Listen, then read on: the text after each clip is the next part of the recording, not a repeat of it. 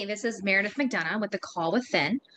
Um, it is December 7th, 2020 at 2:12 a.m. Don't ask why I'm awake. I don't know why I'm awake either, but here I am. Sometimes um, divine guidance brings their best ideas or thoughts or things they want to tell me at uh, very early hours of the morning. So, um, but this uh, topic um, little chit chat I'm going to have is called My Best Advice to New Psychic Readers.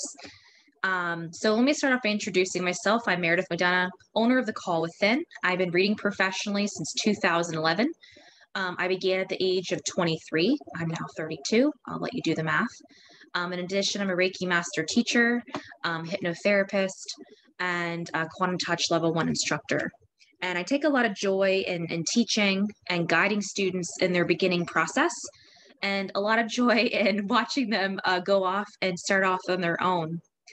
And um, this came to me, they were like, no, you need to really like, you know, talk about this. So my best advice to new psychic readers is number one, be patient. Um, and I say that because it is very easy for new psychic readers. You know, you're very, you know, we're enthusiastic and it's exciting. And then we're like, okay, I'm going to start. And then it's like, okay, nobody's calling. All right, well, what do I do? And now, when I started my business, this is back in the days before Instagram, before Pinterest. You know, I had a crappy little Google Sites uh, web page. Um, you know, and technology and platforms have evolved drastically since then to be much more user friendly for entrepreneurs and small businesses. Now, I say be patient, and I say this in regards to your client because some of you may give a reading. And remember that you are delivering a message that operates on divine timing, not on your timing, not on your client's timing. And I'll give an example. I had a client who I had a reading with, and forgive me, you might hear my cat crying in the background. She's upset with me because she's a kitten and she's uh, in her crib um in her in her crate eh, her crib her crib crate because she keeps peeing on my bed while i'm in it. Anyway so is um i had a client who came to me and said you know we had a reading and she didn't like anything i said. She's like well i don't know about any things that you just told me. But i was okay well this is just what spirit's telling me and you know mm, so be it. Seven years went by. Seven years.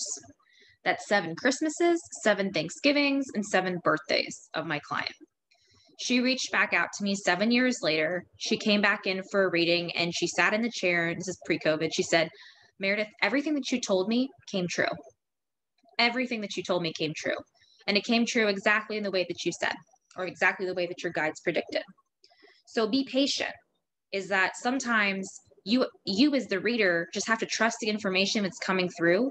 You have no control over the timing of the information. Okay. Um, number two is not every client will be your client and trust that. Nine out of 10 clients that call you or email you or hit you up on Instagram DMs will be your client. And there will be that one that is not. In the entire um, several years that I've read, I've only had two people get up and walk out of a reading. and that was because they didn't like what I had to say. On the other hand, in the entire uh, 10, several years I've read, I've had people call me for a reading, and my guides have said they need to call this person. They're calling you because you are the connection point, but you are not to deliver the message. The del- message has to come from the specific person. I don't even know what the message was, but oftentimes, you know, people would say, "Well, what do you mean you don't want to read me?" They'd be really confused at first. I said, "I'm sorry spirits guiding me that I'm not your reader, but this person is. You need to go talk to this person. And more often than not, 100% of the time, they'd shoot me an email back and say, Oh my God, I had the reading with the person you said, and it was exactly what I needed, and da da da da da. So trust it. And when you trust that not every client will be yours, they will bring you more clients. Okay. That will be for you. Number three, if you don't know the answer to something, just say so the client says, you know, am I going to meet somebody in the next year? And it's not clear and nothing's popping up on your radar. You know, just say, you know, it's not clear at this time, or I'm sorry, I, that that isn't clear. I just don't know. I'm not getting any hits on that right now. Um, don't lie and don't bullshit. You know, some readers will just tell people whatever the fuck they want to hear, my pardon my French, because they just want to make their money. But don't be that person. Be a person of truth. Be a person of integrity. Okay. Um, you know, don't just tell them what they want to hear. There are readers out there again that do that. And and they're the people who are not upholding the integrity of our work. So if you just don't know, just say so. Your client will appreciate honesty more than anything. Okay. Um, number four. Yeah, that's fun. Yeah, it's number four. People may not like what you have to say. and keep in mind that when we initially got into this work, you have a, I'm assuming if you're listening, you have a natural psychic ability or natural psychic mediumship ability or natural healing ability of some kind. Number four, when you got into this work, you got into this work to help people, but you did not get into this work to be liked. Sometimes you will tell your clients things they do not want to hear. You may tell them things that they do not like. And sometimes the things you may tell them may even be uncomfortable for you to deliver. You know, if you have a client who, you know, is uh, really chomping at the bit, you know, to make some sort of move, and you're like, well, you know, spirit really, I mean, you know, I don't know, like it's not really happening that way. You know, again, people might try to muscle you into changing the reading. Um, and I've had this happen one or two times in the past couple of years. And now I'm, I'm very comfortable to tell people is I'm sorry, that is not what spirit is saying. You know, this is what they meant, and I meant what I said, and they said what they meant. Please not try to shift the information. Okay. And it's not about being right, it's just about respecting the message that spirit has been delivering Okay.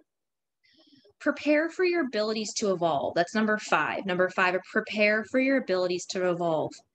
Um, when I was 23, 24, um, when I began reading professionally, I've always been sensitive. I, if someone asked me about moving cross country, I wouldn't have had the ability to be like, which part of the country? Now, if somebody asks me about moving or relocating, I literally see a map, assuming they're in the United States, I see a map of the United States in front of me.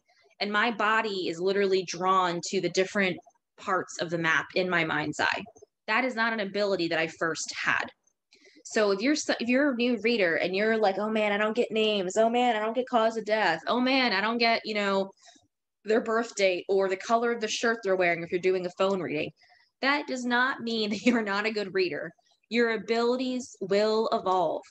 And i will tell you that um, when i turned when you have your saturn return um, whether it's your first or second Saturn return, your abilities will go boom through the roof twofold.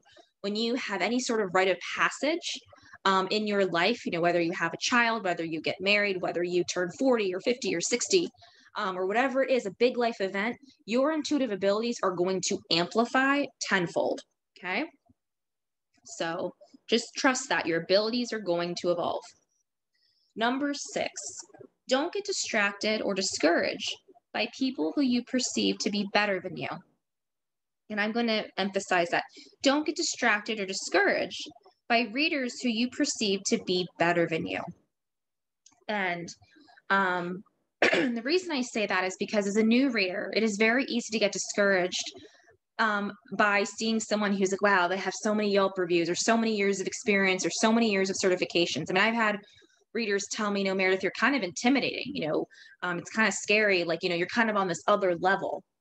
Now, mind you, boys and girls, I do not view myself as being on another level. Um, I really don't. I mean, I just do what I got to do, keep my head down, and work hard. Um, you know, but does not mean that I view myself as being above people or um, you know, I, and I'll give an example. I taught an intuition development class a couple years ago in the spring at my old office on North Washington Street in Alexandria, uh, Virginia. And there was a woman who I met at a networking event, and she heard about my class and um, was very serendipitous, and she came. And so she had never done a psychic workshop in her life. Okay, never in her life, never. This woman, by the end of the day, we were all calling her the witch because she was just incredibly accurate so what I'm saying is, is here I was as the teacher of the class, and here's the student who's just like blowing things out of the water, you know, in, in a positive way with her abilities. So again, do not get distracted or discouraged by people who you perceive to be better than you. This is not a um, a level game. We're not in a video game of Donkey Kong where you know again if anything the only levels you have are the ones that you have within yourself and your own self limitations okay? I'm going to repeat that. The only levels that you have are the ones within yourself and your own self limitations so if you're like you know what spirit i want to get better with names. I want to get better with times. I want to get better with relocation. You can ask the universe for those things hey you know guys I, I would really like to have the ability to do x you know, what do I need to do that? And they might direct you to a course, they might direct you to a teacher, they might bring it up in the very next reading and say, okay, you're going to trust what we're bringing you. May not be in the way that you expect. Um, so, to conclude, if you are a new psychic reader, this is an exciting and fresh time for you. I'm excited for you. Um, I remember long ago when it was my first, you know, couple years as well. And when you hit a milestone in your practice, you know, you're going to look back at all the hard work that you've done. And, um, you know, so again, you know, be brave. It takes a lot of courage to do what we're doing. If you're putting yourself out there and hanging your shingle, um, you know, whether on the internet or in a, you know, a store or a new city or a new town, it takes a lot of bravery to do that. And if you're doing that, I'm proud of you. And you're going to do wonderful and excellent things um, you know, stay in the light, stay in the truth, stay in your integrity. And I promise you that spirit will not steer you astray. Thank you.